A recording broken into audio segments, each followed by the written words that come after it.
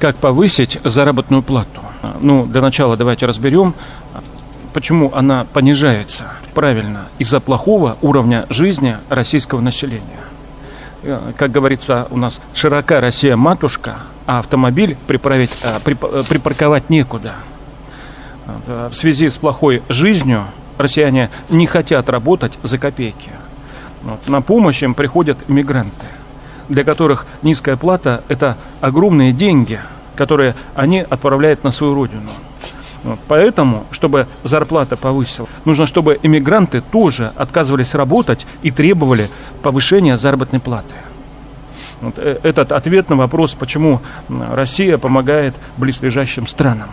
Вот. Ну а теперь о хорошем для а, подписчиков объявляется акция на пародийное видео поздравления. А, чтобы получить скидку 30%, нужно при заказе написать промокод «Осень».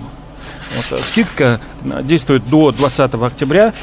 Подписывайтесь на канал и пишите ваши предложения.